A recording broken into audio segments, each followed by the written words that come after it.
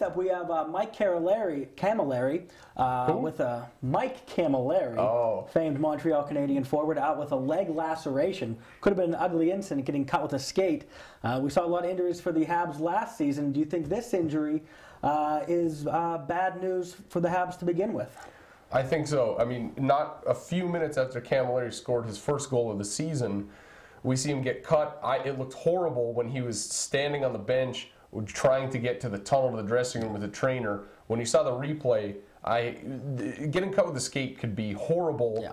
Not just for, for blood issues, losing blood, but you could sever a tendon so easily. So they're saying two weeks. That's actually very positive news. I mean, I think immediately back to Andrei Markov two seasons ago, got cut in a very similar fashion by his own goalie, Carey Price. I think it was also the first game of the season, or very early in the season.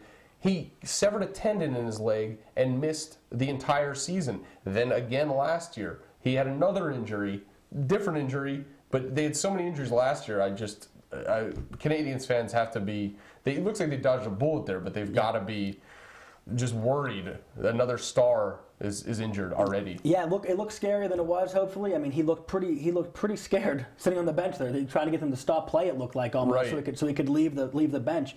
I mean, we saw it with the Canadiens last year. We saw we saw PK Subban cut Jordan Staal's foot with Right. skate.